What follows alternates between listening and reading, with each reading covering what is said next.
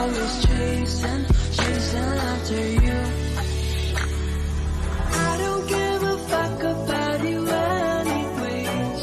Whoever said I give a shit about you, you never share your toys or communicate. I guess I'm just a playdate to you.